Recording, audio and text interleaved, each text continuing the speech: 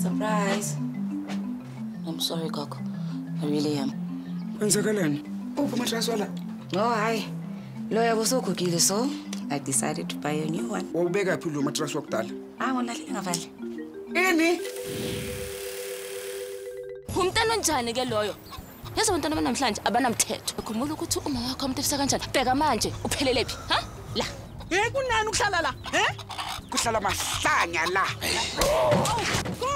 gogo Gogo, gogo, gogo, kebheka mona. family important sometimes abantu abahluphekile abangenanto ngabo abanjalo mina nawe sine-arrangement ukuthi wena sifanela mina mina ngiyakunakekela ukuze niphile buthaweleka angithi ngimosela ibhizinisi lami sikutshola kabi wena yabona wena sakwazi mina ngiphethe mina sisebenzayo ngempela no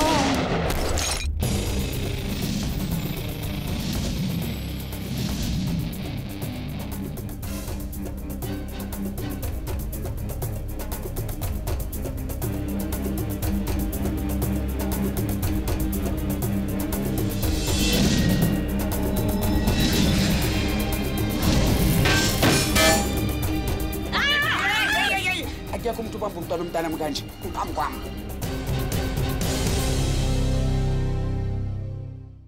There are so many stories in our country, in our continent. Why this specific story? Why this specific themes? Why did you feel compelled to this to, to tell this specific one? Yo.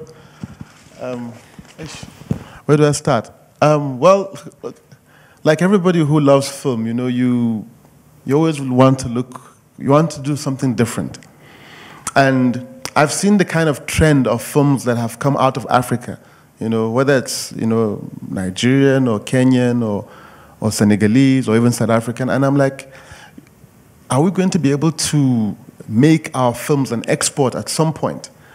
Are we going to be able to draw audiences into cinemas with the kind of films we've been making? You know, so I kind of felt, you know, let's try. Let me try something that's a bit out there, something that is, you know, that you, you don't normally see on TV. Something that, if I was to ask you to come to the cinema and watch, I'd probably say yes because they won't show this film on TV. I can guarantee you that. But you know, in the cinema, maybe yes. And, and that meant, you know, it, it could be just that kind of film. So it was really uh, in an attempt to try something different and see if it will work, if it will find a market, and if it will find an audience or a following, and also if it could travel outside South Africa, not just be a film that you know can be consumed locally, with the themes that are ours, of course, cultural, relevant, and all of that, but you know a bit of you know grandma kicking ass and that kind of thing. So maybe people would love that thing. I don't know. It's an experiment. It's still an experiment. Let me put it that way. Cool. Let's see. With, let's just see with the show of hands. Anybody who's got a question to ask? Okay, one noted. Uh, okay, cool. All right. Just as a follow-up question, we'll come to you now. As a follow-up question, we live in a country and in a society where we've seen how men have handled women, right? And I don't know if it's something that you, you from the onset, you went on to address. If you, you made a film to address the issues of sort of violence against women and some sort of uh, uh, power to the to the female uh, uh, being. So I don't know if it's something that you thought out or it was as a result of the process. So No, look, look, this script took me like two years to write. And at some point, it was an exercise in whether I really knew how to script write. I attended a workshop uh, a few, I think, last year by the renowned uh, script writing guru, uh, a man called Robert McKee. And when he, he basically, you know, taught us blah, blah, blah, how to scriptwrite. So I went back to this script that I written a long time ago to see if I could actually you know, uh, apply some of the principles of scriptwriting. And then, of course, the themes that I that were very, very close to my heart, and things that I thought were interesting. You know, I, I didn't want the film to be gratuitous, whether it had to do with the sex or the violence. It had to be organic. It had to be rooted to the context. And well, we all know violence against women. It's common, and people have accused me for actually uh, celebrating it instead of condemning it in the film, which I suppose can be true in a way. You know, so, but I, I know that there's just know how you can bring anybody's attention to something without pointing an arrow directly to it and say, look, this is it. If you want to make a film about drugs, you, you have to show people taking the drugs. You have to show the effect of that drug.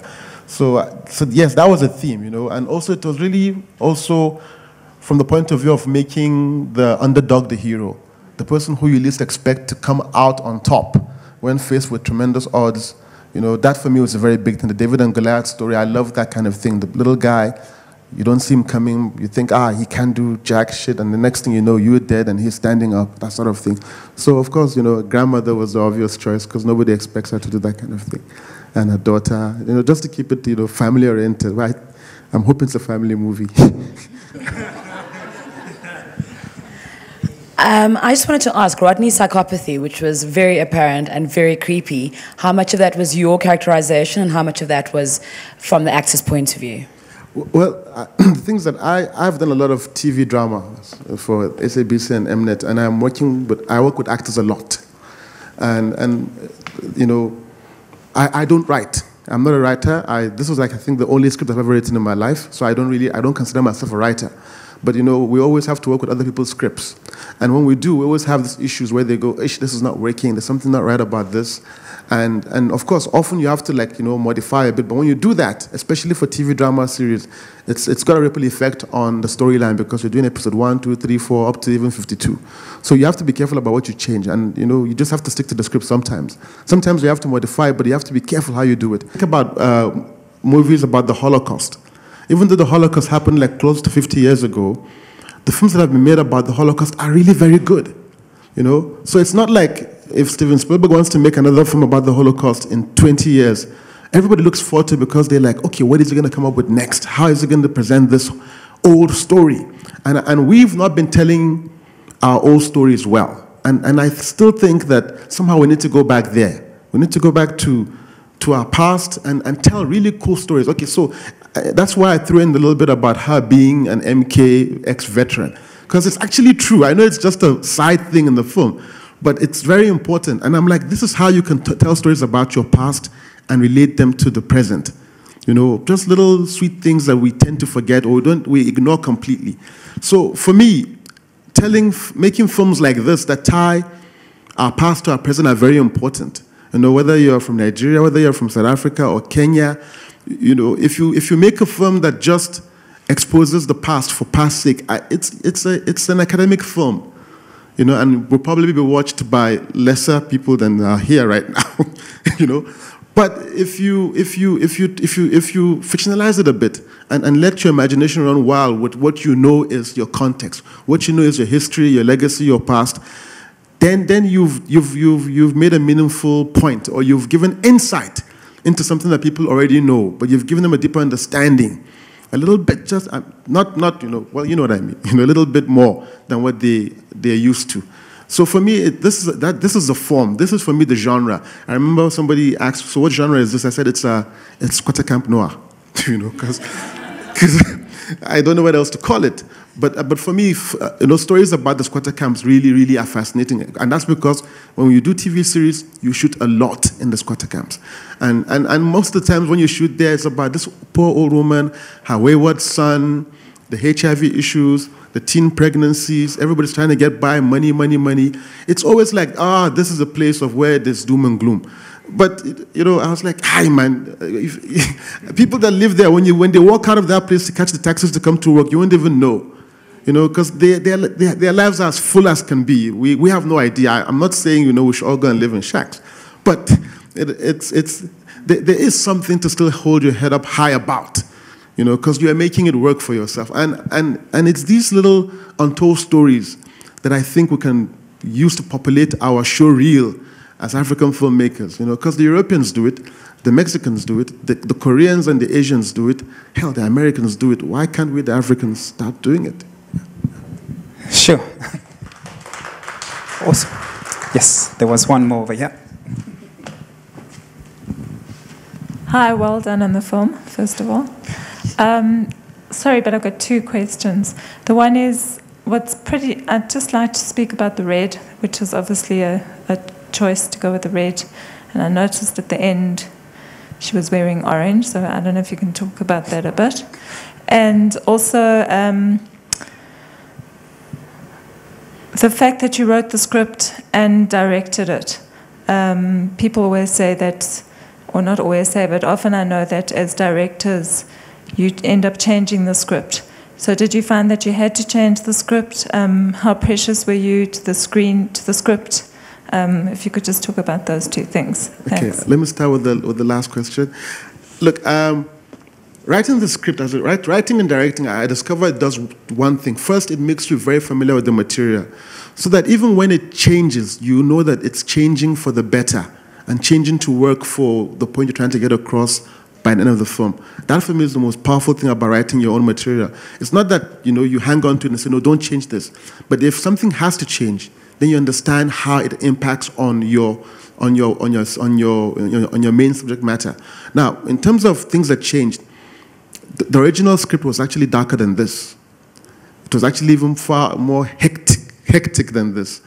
It, it really was. It was really, really dark. It was still funny, but it was dark. And I remember Lillian going, Yo, say, I don't think I can do this. There was a particular scene she could not bring herself to, to, to even do. And she's like, We've got to change it. I'm like, Okay, you know what? We'll change it. But then what do we replace it with? And then we came up with something a bit more that worked. So there were those kind of negotiations about, you know, what we could and what we could change and what we could. Okay, let me let me tell you specifically one example.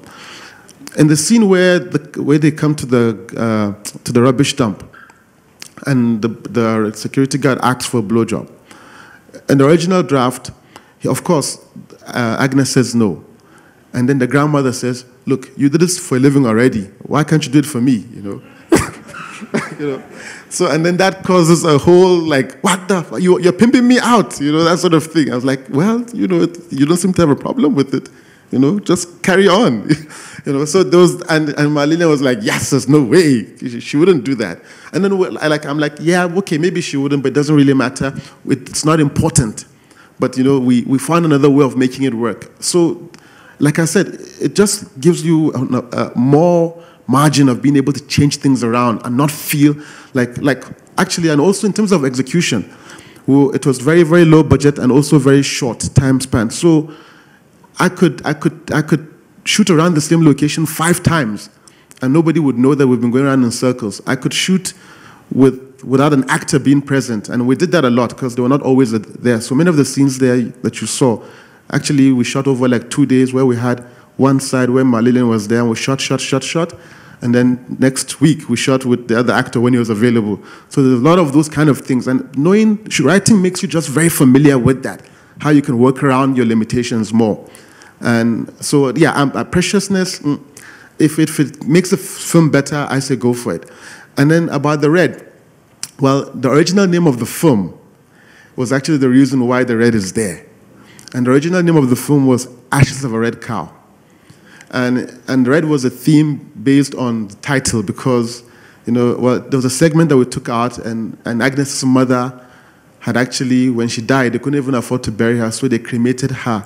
And they put the ashes in the red cow that they were using to basically kill everybody. so, so, but you know, like I said, we really were working on a tight budget, tight schedule. We shot over 10 days with, with, with little or no money.